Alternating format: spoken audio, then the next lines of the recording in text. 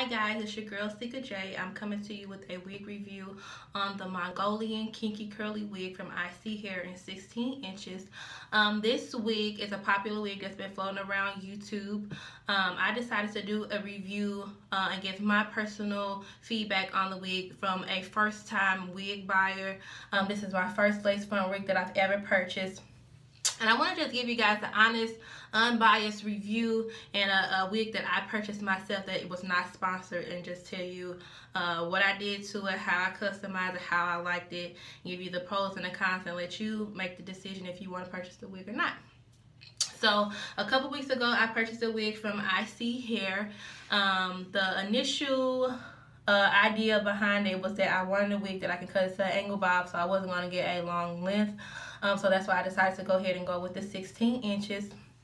Um, the description of the wig said that it comes with four inches of lace parting space and that it was pre-plucked. I can't say that those things were true except for the four inches of parting space is not four inches all the way around. When you get closer to the uh, end parts of the lace uh, parting area, the lace parting space does get smaller. I want to say it's about three to two inches as it gets to the end of your uh, your head around the perimeter but at the top it's most definitely four inches of parting space um, that uh, part of the wig really didn't bother me I knew I wanted to do a side part, but it didn't have to be like a long, deep part or anything like that. I just knew the look that I was going for, so that wasn't really an issue for me.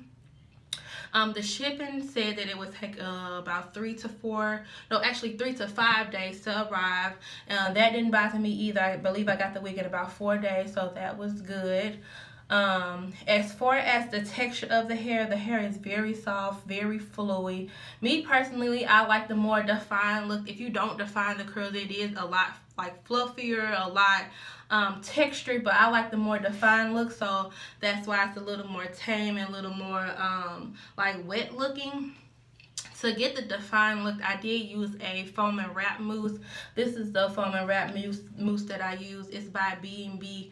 It worked really well. I just uh, equally put it throughout the wig. And it keeps it nice and sleek like this the whole time, believe it or not. And the, the reason why I decided to use the mousse foam and wrap versus like the regular um, foaming um, mousse that comes in a can that kind of expands when you spray it out as that makes it really hard but the foaming um, wrap mousse keeps it very soft like soft to touch even when it's defined so I did like that part about it as far as customizing the wig I did not bleach the knots on the wig. The reason why I did not bleach the knots is because, like I said, this is my first time buying a frontal wig. So I, I didn't want to over bleach the knots and potentially risk um, you know, damaging the wig. So I decided to do some research on YouTube and find different ways that you can conceal the knots.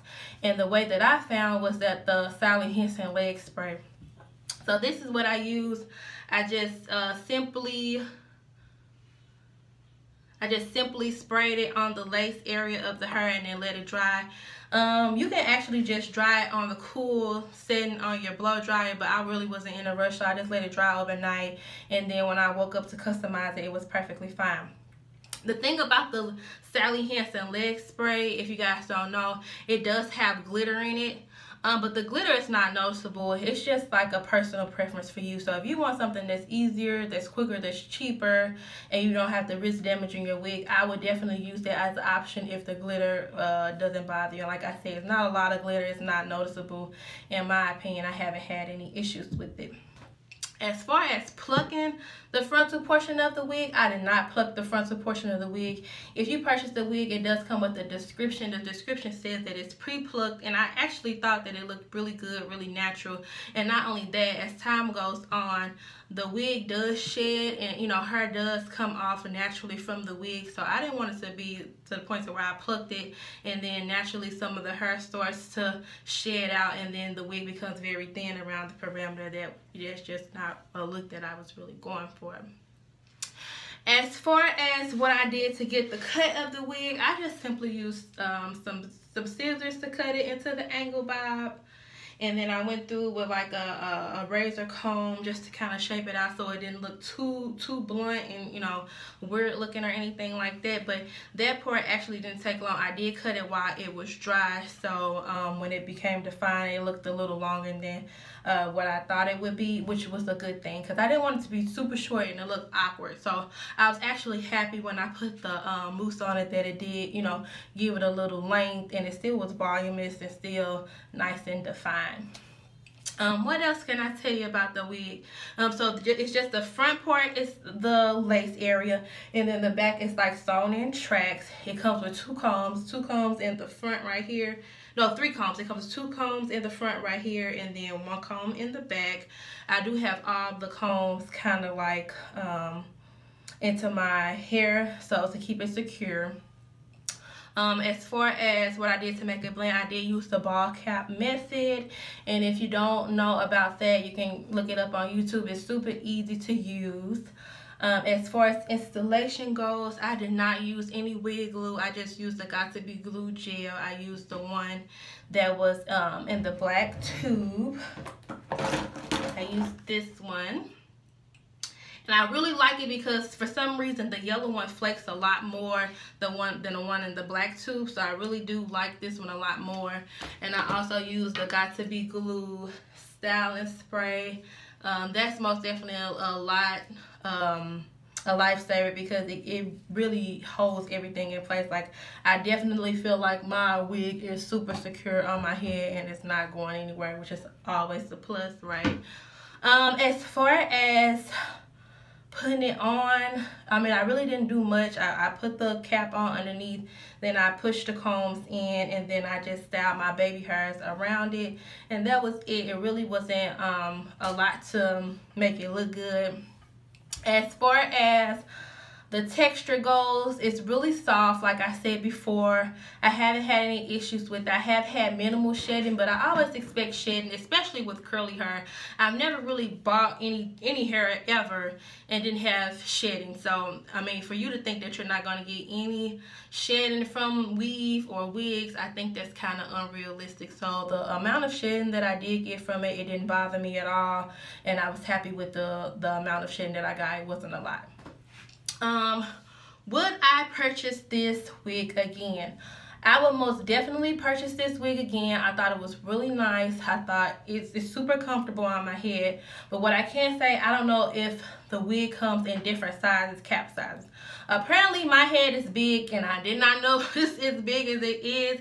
But um, the flaps on the side actually don't come all the way down on the sides of my head. So it's kind of, the way that I styled it, it really didn't matter anyway. But if you are, um, your head is a little bigger, if they have different cap sizes, I do recommend you measuring your head to see what cap size works for you because I just got the standard one and apparently my head is a little bigger than what I thought it was so yeah that's the only thing that really was like oh that could have changed but it most definitely wasn't a deal breaker for me i'm definitely going to keep wearing the wig i definitely will repurchase the wig um, as far as the affordability for the 16 inch wig i think i paid around 120 for it and I didn't think that that was a bad price at all, especially for a lace frontal wig. I thought that was really affordable. And especially for the quality of the wig, it looks very nice, looks very natural. If you can look at the curl pattern, it's a very, very, very um, pretty curl pattern. So I was happy with that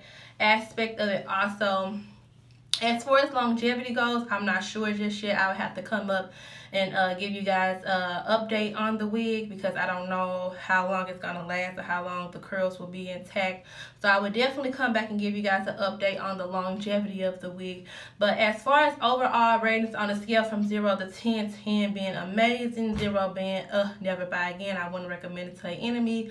I would definitely give this, this wig a strong 9. It's just because it didn't fit um, well on my head because I think my head is just a little bigger than the average cap size. But that's the only con that I have about this wig. This is a really great wig, a very affordable wig. And for me to be a first time frontal wig buyer, I think that it is very uh, easy to to put on, very easy to manage.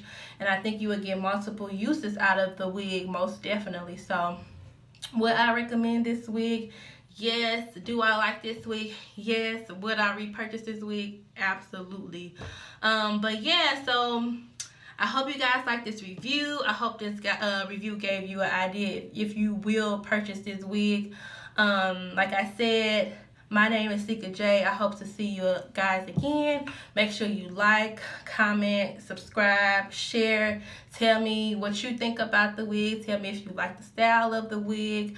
And I just want to hear back from you guys. This is a new year 2019. Um, the procrastination is over. I always wanted to do YouTube, so I'm here now. And I hope you guys absolutely enjoy it. And I'll see you in my next one.